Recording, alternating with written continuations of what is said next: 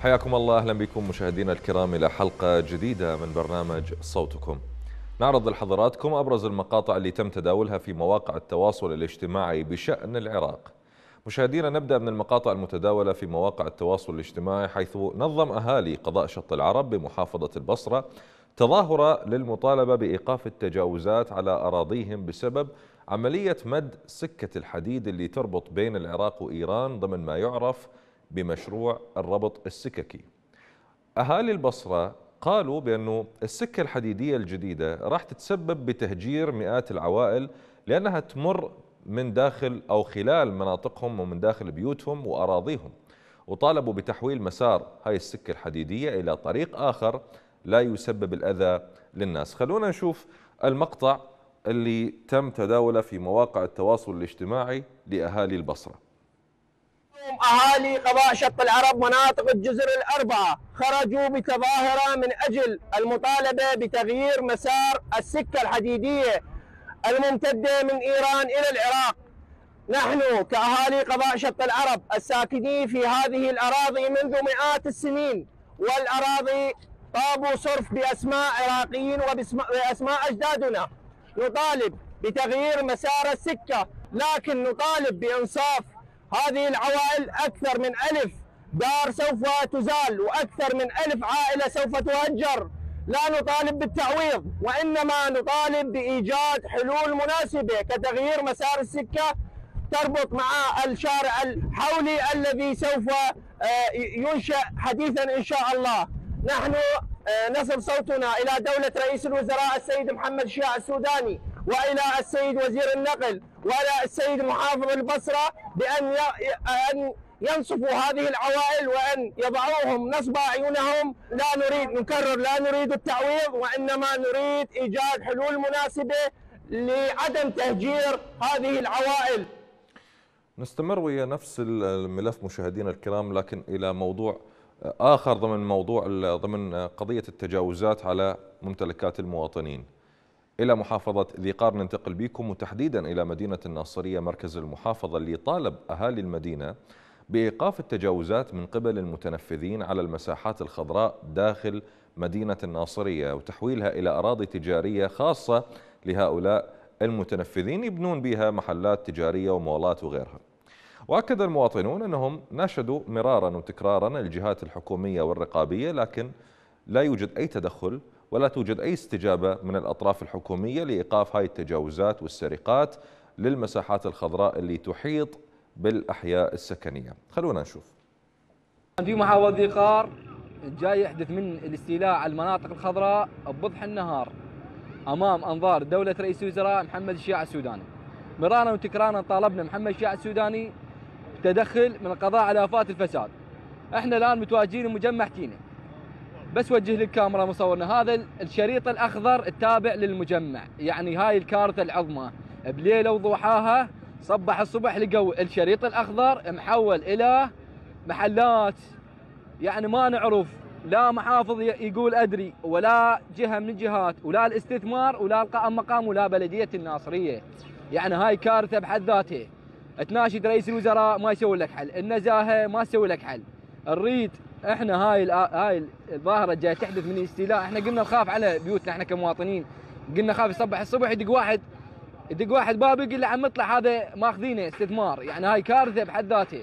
إحنا نوجه رئيس الوزراء إن كان جاد في الإصلاح بحكومة الإصلاح خليه يبدأ من الناصرية ويشوف الكارثة مال الحزام الأخضر. خنقوا المدينة هاي الشوارع الرئيسية راح يقدمونها بالمحلات والاس طيب مشاهدينا خلونا نشوف التعليقات اللي جاءت وتم تداولها أو اللي علق عليها المعلقون على هذه المقاطع في موقع فيسبوك. أسامة يقول المفروض اتفاقية الربط السككي مع إيران كلها تنلغي لأن اللي وقعوها ناس ما تفتهم من وزير ومدير سكك ومستشارين. عندنا تعليق من أبو محمد البصري يقول ما ضاع حق وراءه مطالب. حكومة الخضراء تريد تبيع تريد بيع أو تريد بيع ما تبقى من البلد والضحية المواطن البسيط. سكار يقول بارك الله بكم. هو هذا الصحيح. يجب الوقوف بوجه المستغلين والمنتفعين. ما بقت لا مناطق خضراء ولا محرمات. ما يصير. تتحول إلى سكني. هو هذا المتنفس الوحيد بالمنطقة. والسيد نجاح يقول ما خاننا الأمين بل نحن تمنى الخائن. أغلب المناطق الخضراء تم بيعها من قبل الخائن الذي ليس لديه ذمة ولا ضمير ولا يستحق البقاء في هذه المحافظة ساعة واحدة. كانت هذه جزءا من التعليقات مشاهدينا الكرام اللي تم تداولها بشأن المقاطع اللي عرضناها لحضراتكم. ننتقل إلى موضوع ثاني. من الاستيلاء على الأراضي إلى فساد المشاريع والاستثمارات والسرقات الحاصلة بهذه المشاريع اللي موجودة في أغلب المحافظات العراقية. ناشط من محافظة كربلاء تساءل عن أسباب إيقاف أو إغلاق جسر الهندية في المحافظة بعد أن تم افتتاحها بأيام وتساءل عن سبب ظهور تخسفات وسط الجسر الجديد. ومنو اللي راح يحاسب الشركة اللي أشرفت على بناء هذا المشروع ونفذته. وأين هو دور الرقابة ولجنة النزاهة وغيرها من اللجان من هكذا سرقات وفساد في مشاريع استراتيجية تنصف أو تصرف عليها وتنفق عليها مليارات الدولارات والدنانير. خلونا نشوف. طبعا إحنا كثير ما تحدثنا عن موضوع الشركات وإعطاء المقاولات للشركات محددة دون أخرى. هذا الجسر جسر طويريج اللي صاير باتجاه الجمعية بعد افتتاحه إنه الجسر بذيك بذاك الاتجاه صار شوية بنزول هسه اذا تشوفون شوية صار بنزول إضافة هذا الموضوع إنه هاي الجوينات ما أعرف شنو وضعها. يعني هاي الجوينات جوينات عفوا ليش استخدموا استغلوها بهذا الموضوع؟ وهاي التحديد بعد افتتاح الجسر إنه رجع انغلق الجسر. يعني افتتح الجسر رسميا ورا فترة رجع انغلق لاجراء هاي الصيانة.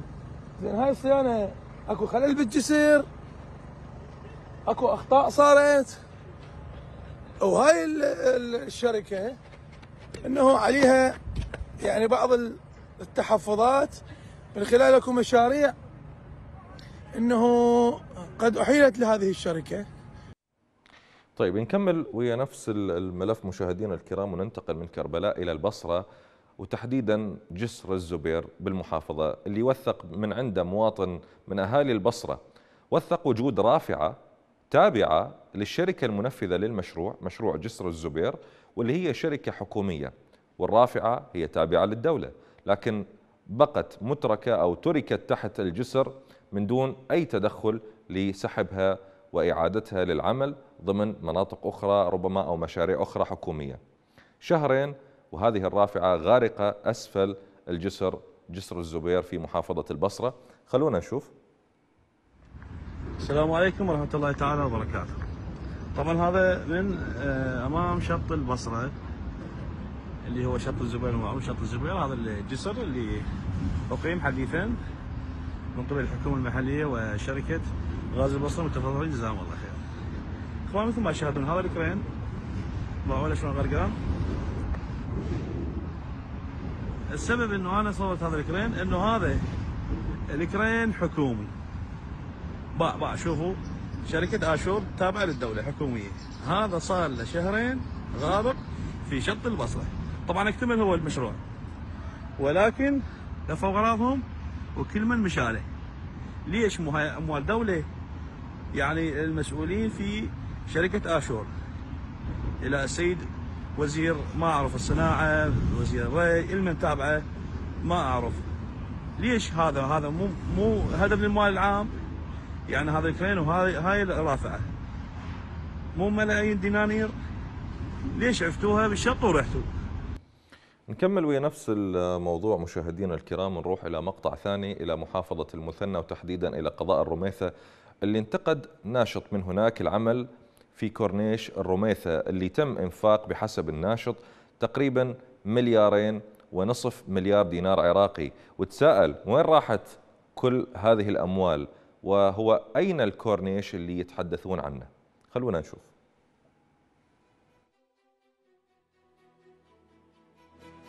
حياكم الله أخوان، اليوم أتواجد بواحد من أهم الأماكن السياحية والترفيهية في قضاء الرميثه وتحديدا كورنيش الرميثه. نعم أخوان. هذا اللي جاي تشوفوه. هذا هو كورنيش الرميثة كلفة هذا الكورنيش مليارين و700 إلى مليارين و600 يعني 2600 مليون دينار عراقي. كلفة هذا المشروع اللي قرابة تقريبا طوله كيلو إلى كيلو ونص. بطنوه بهذا الحجر. وهذا هو بس بعد شنو إيش تردون؟ اكو واحد يريد أكثر من هذا يعني هو حجر وبطنوه ما نعرف شنو هسه يعني كورنيش أنا أول مرة أشوف كورنيش غير صالح لا للحيوان ولا للإنسان يعني أجي أقعد هنا مثلا العصريات وين أقعد؟ زين هاي الخيسة شنو وضعها؟ آه هاي ال- المجاري شنو وضعها؟ آه ما أعرف ما أعرف حقيقة شنو هذا على شنو كلفكم مليارين و600 إلى مليارين و700 طيب خلونا نتابع التعليقات مشاهدينا الكرام سريعا قبل لا نبدأ باستقبال اتصالات حضراتكم. أبو محمد يقول ما ضاع حق وراءه مطالب، طبعا إحنا عرضنا تعليق السيد أبو محمد قبل شوية. علي يقول بلد بيد الحرامية حسبي الله ونعم الوكيل على كل ظالم. وعندنا تعليق من أحمد يقول حاميها حراميها وذولا اللي اجوي جدد راح يكملون مسيرة اللي قبلهم. حسبي الله ونعم الوكيل على كل فاسد. عندنا تعليق من علي يقول بما أنه البلد بيد الأحزاب الفاسدة فلا تتصورون البلد ينهض. عمي هسه بوقوا وانهبوا بس ابنه من ألعن ألعن أبو أمريكا يا أبو إيران. خلونا نسمع رأي السيدة أم شهاب من بغداد. تفضل يا أم شهاب. حياك الله. السيدة أم شهاب. السلام عليكم عيني. وعليكم السلام ورحمة الله وبركاته. الله يحفظك يا أم. تفضلي. والله ذات فضلك عيني الله يبارك فيك ويخليك ويحفظكم الله. الله يسلمك الله يسلمك. كل الهلا. تفضلي. الله يرضى عنك. وال- والله يا ماما إحنا نناشد بالعفو العام. نعم. والله يا أمي أنا هوايه ناشدت هوايه وتعبنا من المناشدة مم. نعم تعبنا والله يا ام من المناشدات نريد يعني يريد ينطون عفو عامل لولدنا الأبرياء يعني للمظلومين نعم. إحنا ما جايين نقول لهم روحوا طلعوا ال- الإرهابية والقاتل مم. يعني أولادنا يريد ينصفون بحالهم يا أمي مم.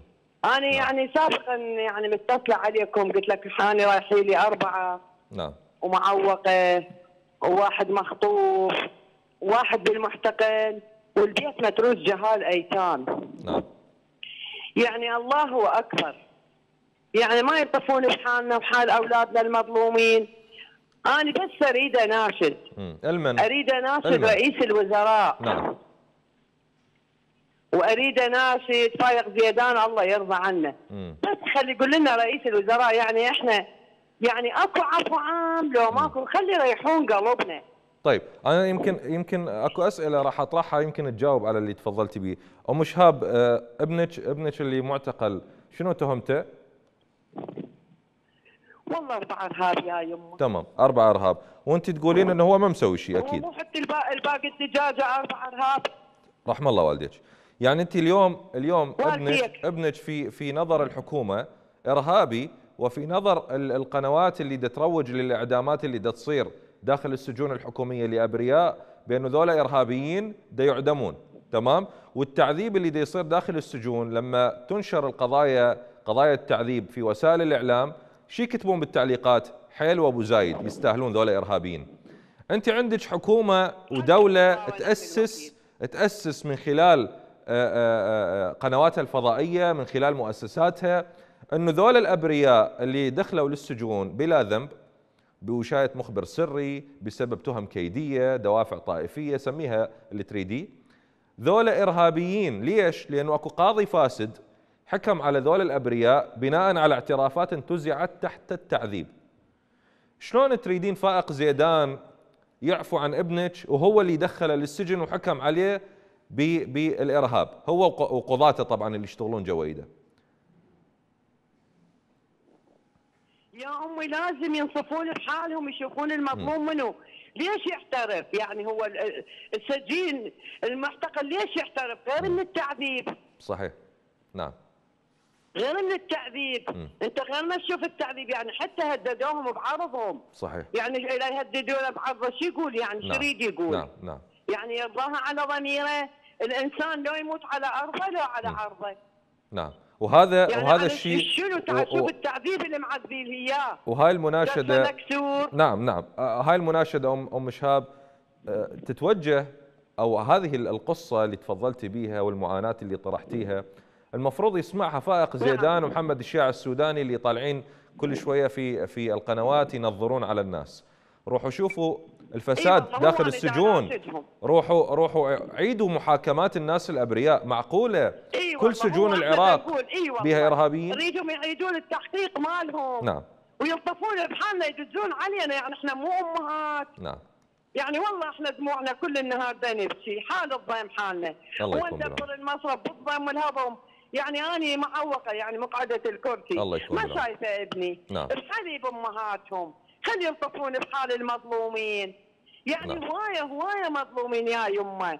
ويقول يا ما بالسجون مظاليم صحيح صحيح. يعني الله أكبر يعني الله إحنا كفار.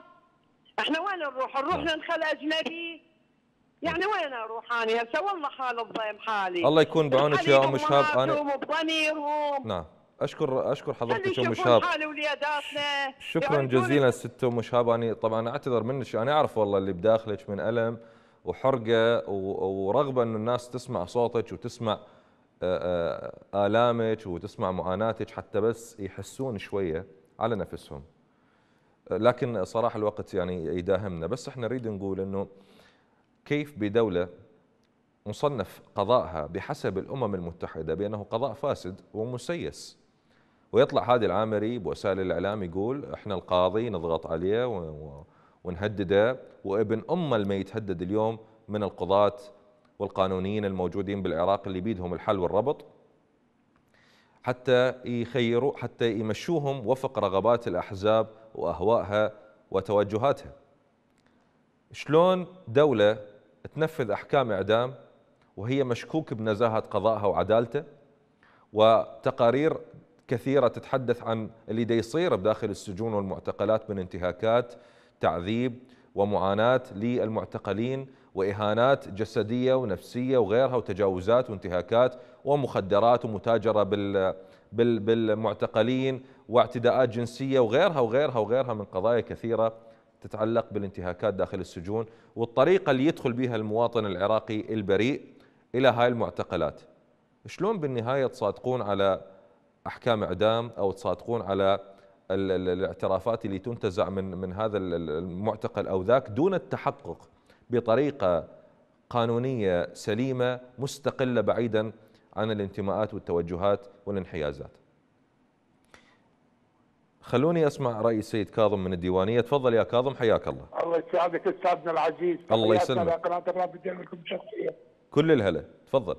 أستاذنا العزيز أنا ما قاري وما اقرا زين إذا الانتخابات ما داخله كل الماده القانونيه نعم. شلون يعني يسوون انتخابات علينا هاي الأحزاب الفاسدة. زين من يدافع عن العراق بعد؟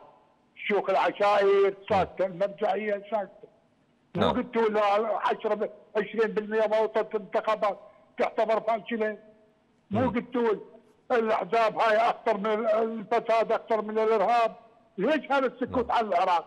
نعم. يعني هذا مو العراق العظيم عراق التاريخ عراق النهرين بدجلة والفرات. ليش هذا السكوت عن العراق؟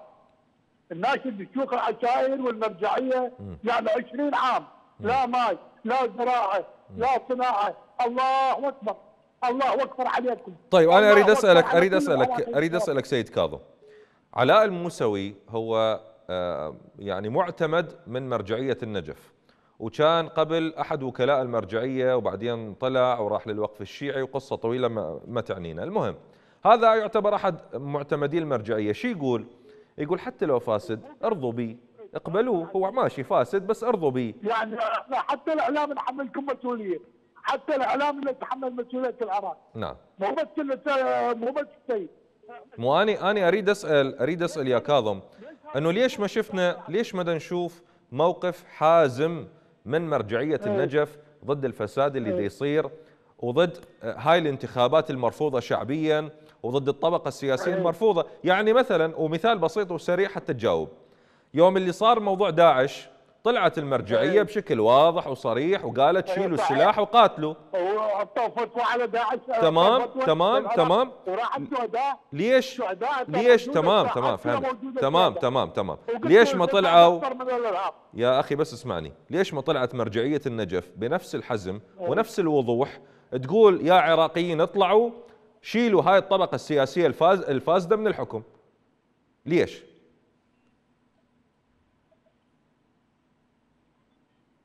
كاظم؟ نعم. ليش ما طلعت مرجعية النجف وأفتت بمحاربة الفساد؟ العشائر ليش ما تحكي؟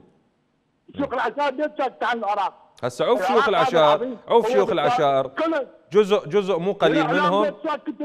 جزء مو قليل منهم آه، متواطئين ومشتركين باللي دا يصير بالبلد. جزء مو قليل. لكن احكي لي جاوبني جاوبني على السؤال.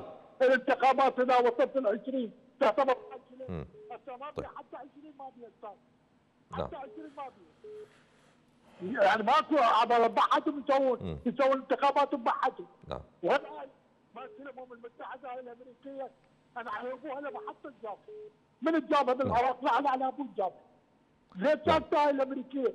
وتقول هاي الديمقراطية. وين الديمقراطية؟ الديمقراطية كلها حرام اللي جابت نعم. قاعدة تاخذ بس راتب. قاعدة تاخذ راتب وما أكبر دجالة هي الأمريكية. نعم. لعنه الله على هاي الأمريكية. لعنه الله عليها. لعنه الله عليها. شكرا. شكرا جزيلا سيد كاظم من الديوانية. كنت أتمنى بس تجاوب. أنا أنا أقدر انفعالك. والحالة العصبية والغضب اللي يعتليك ويعتلي صدرك وقلبك وعقلك والوضع السيء اللي دا يعيشه العراق اللي انت دا تشوف انه طفح الكيل. كافي. كافي فساد كافي هاي الحكومات اللي تسلطت على رقاب العراقيين والشعب يقول ما نريدكم. ما نريدكم يا عالم. بس السؤال اللي يظل قائم هاي الجهة الدينية اللي آه، تصدر نفسها لأنه هي تمثل العراقيين.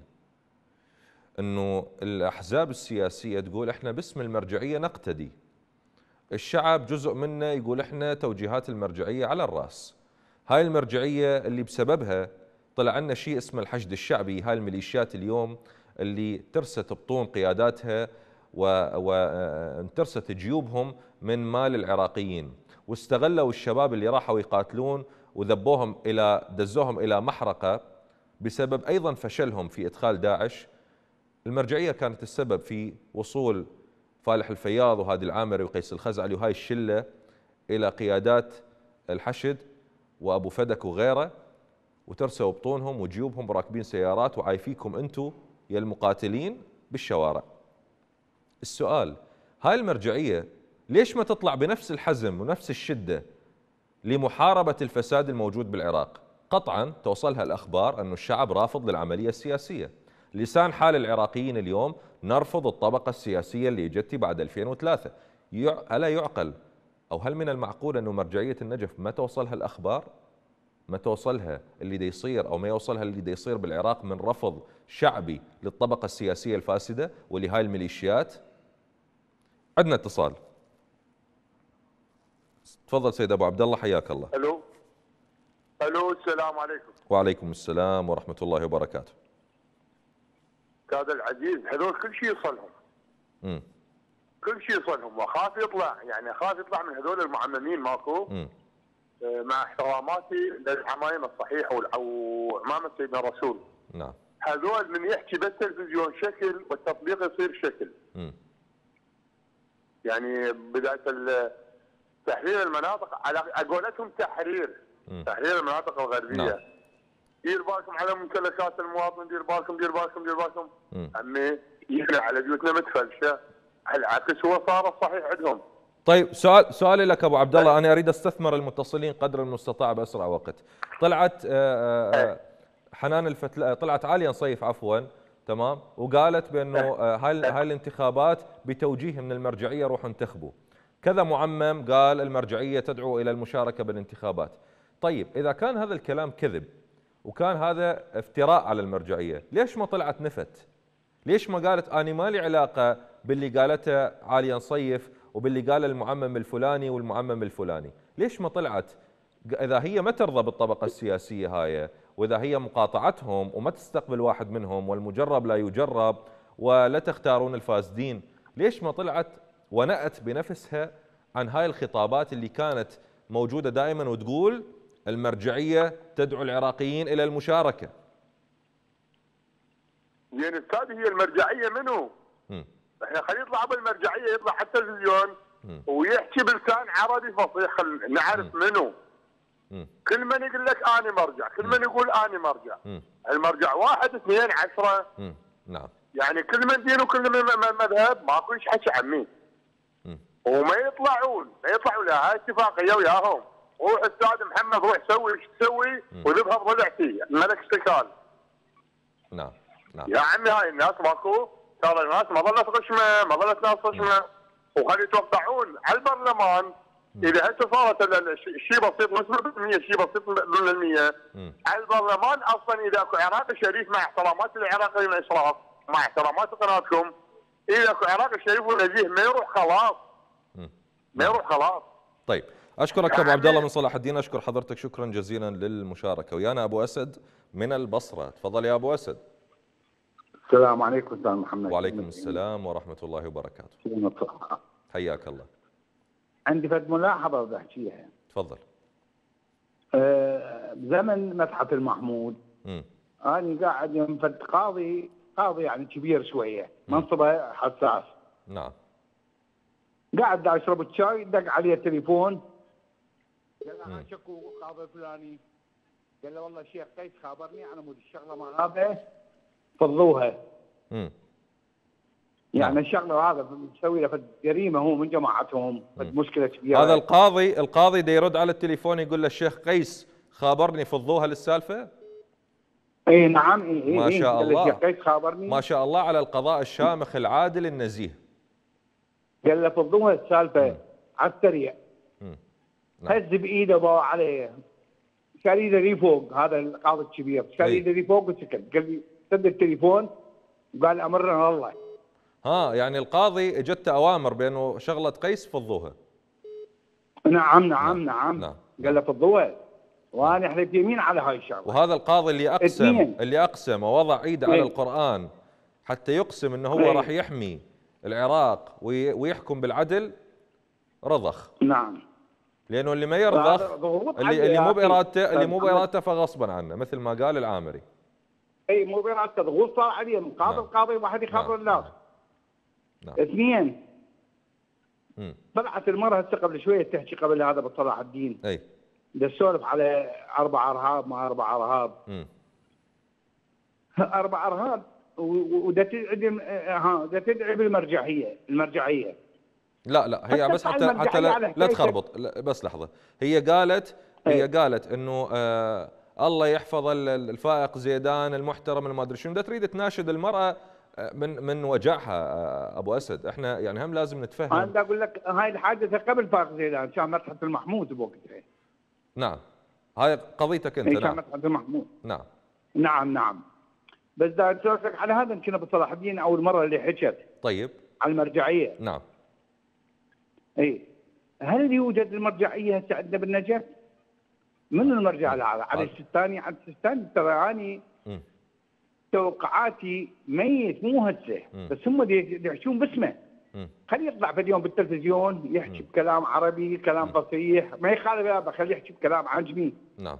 كلام عجمي كلام آه، هسه إحنا ما نريده يتكلم. هسه ماشي. هسه ما نريده يتكلم. إحنا نريد موقف مثل ما صار وطلعوا لنا الحشد من هاي المرجعية من النجف طلع شيء اسمه الحشد اللي ذبح إيه. العراقيين وقتلهم بحسب تقارير دولية لها أول ما لها آخر نريد يطلع نفس ال. نفس ال- البيان هذا نفس الفتوى أو خطبة مثل ما إيه. طلع عبد المهدي الكربلائي وقتها و ي- يحكي بك- بكلام واضح وصريح اطلعوا يا عراقيين اسحلوا ذولا بالشوارع أو اطلعوا يا عراقيين. طيروا الفاسدين من هنا ما ما شفنا هذا الشيء طلعت كان لو طالع هو. مم. العفو. كان الكل طلعت نعم. مو بس فئة معينة. نعم. طيب أبو أسد أنا أشكرك شكرا جزيلا للمشاركة. خلونا نكمل مشاهدينا الكرام وننتقل إلى موضوع ثاني في هذه الحلقة. من فساد المشاريع مشاهدينا ننتقل بكم إلى نقص الخدمات. ومن محافظة القادسية تحديدا قضاء عفك أهالي حي الوائلي في القضاء طالبوا بإيقاف معاناتهم والعمل على تعبيد الشوارع تبليطها اللي أصبحت عبارة عن برك طينية بسبب دخول فصل الشتاء وهطول الأمطار. وطبعا هاي الشوارع يستخدمها العديد من طلبة المدارس والأهالي بشكل يومي وهي بحال سيء جدا. خلونا نشوف هذا المقطع.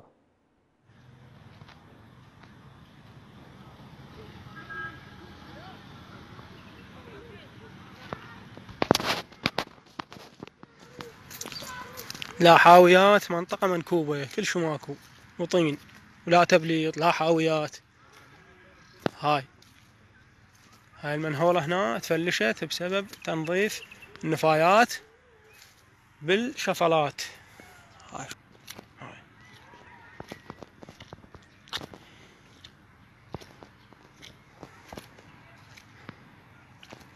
هاي شوفوها قدامكم.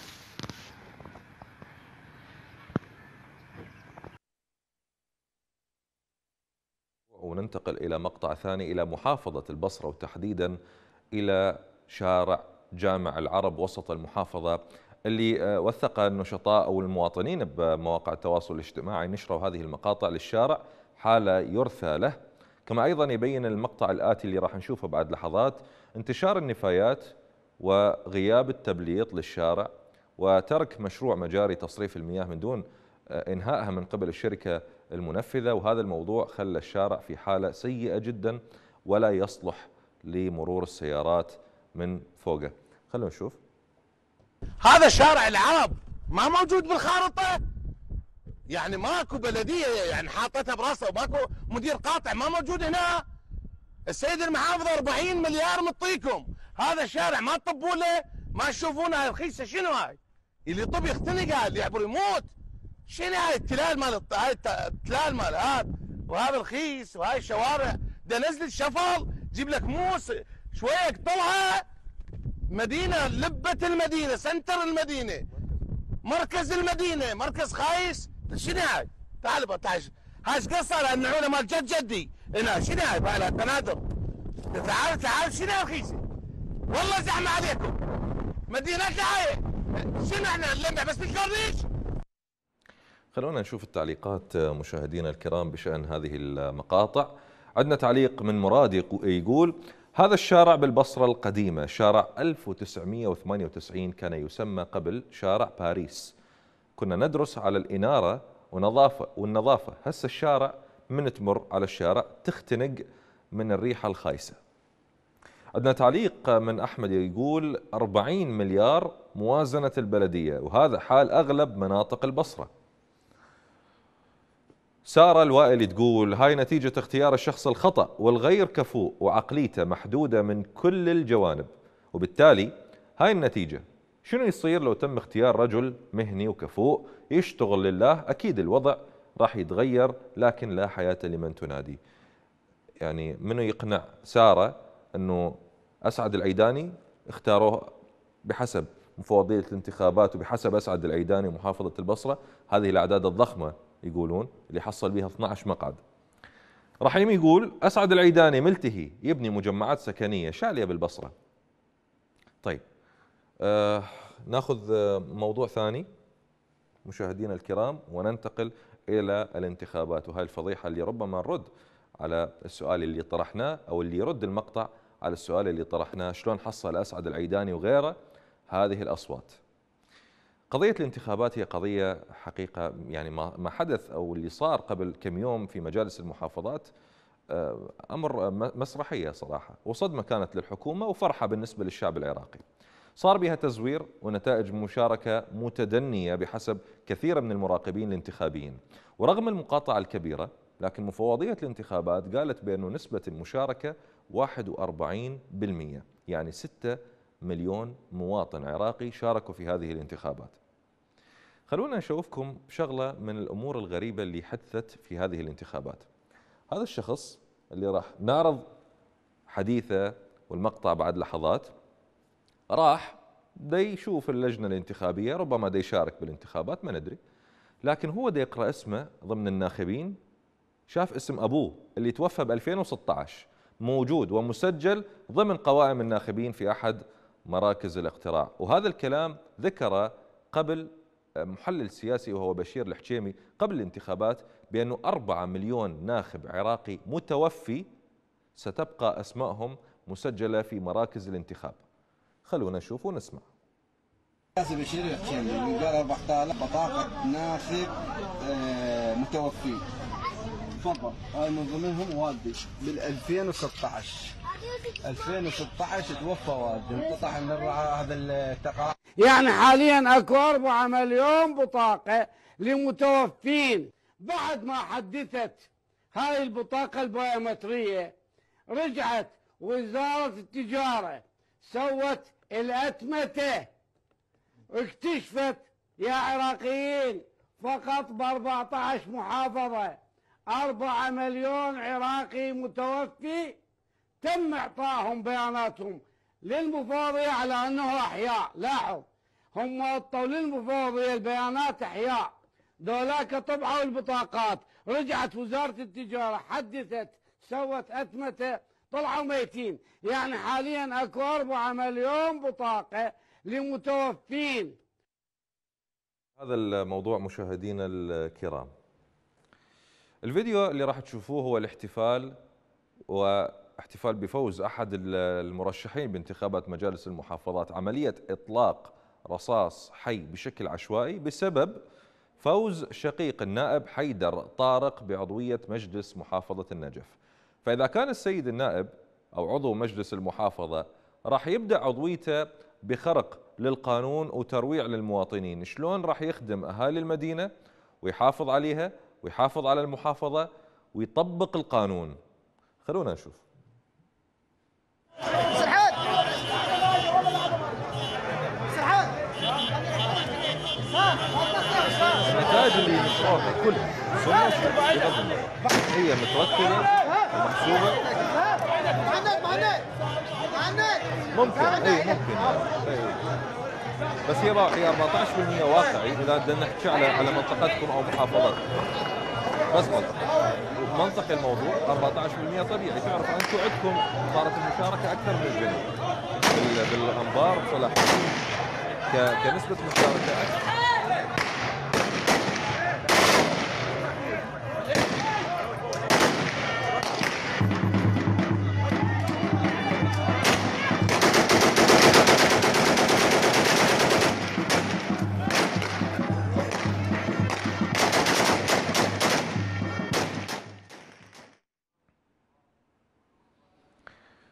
خلونا نستعرض التعليقات مشاهدينا الكرام. عندنا تعليق من فاضل يقول فعلا جايين نغير. باكر يسولفون بالقانون يطبقها علينا الفقرة بس الله وكيلكم شكو واحد ينتقد ويصعد حالة حال القدماء. تعليق من شهاب يقول مع الأسف ولماذا هذا الاحتفال؟ هل هي مغانم؟ إنها مسؤولية أمام الناس وأمام الله. صالح يقول بها الخير. هاي بعدها بأولها وهيك خرق للقانون أو هيك خرق للقانون. تعليق من فلاح يقول دول داخل دولة ولا من بصيص أمل. فالح أو فلاح آه، متشائم النظرة السوداوية تعتليه من تعليقه وصل إلى مرحلة من اليأس يبدو من ال- التغيير في العراق بسبب آه، أو التغيير من هذه الطبقة السياسية اللي ممكن يعني يتوقع البعض بأنه هي قد تحدث تغيير إيجابي للشارع العراقي. هذه النظرة هي نظرة أغلب العراقيين وأغلب المقاطعين أو كل المقاطعين للانتخابات وأغلب العراقيين لأنهم يعرفون كلش زين أنه الطبقة السياسية اللي تحكم العراق من 2003 إلى اليوم لن تقدم أي شيء إيجابي للشارع العراقي. خلوني أنتقل وياكم إلى الإنفوجرافيك اللي آه، بعدنا مرتبطين بنفس الموضوع عن الانتخابات انتخابات مجالس المحافظات مقاطعة الانتخابات. هو كان صوت المواطن العراقي الحقيقي الرافض للأحزاب وكتلها السياسية. خلونا نشوف هذا الإنفوجرافيك اللي يلخص مقاطعة العراقيين للانتخابات وشنو أسبابها.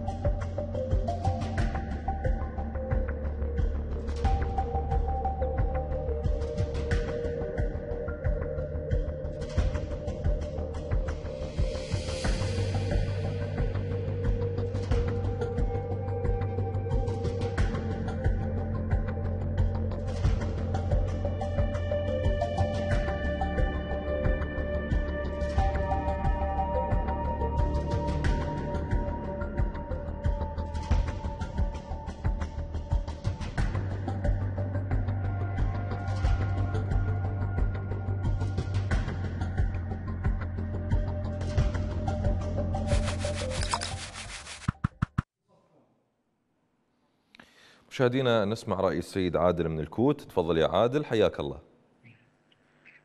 السلام عليكم. وعليكم السلام ورحمة الله.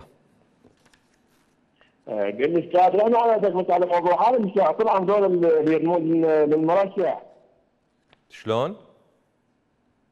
على مود دول النساء طلعوا من المرشح نعم نعم اللي يضربون آه، إطلاق رصاص بالهواء.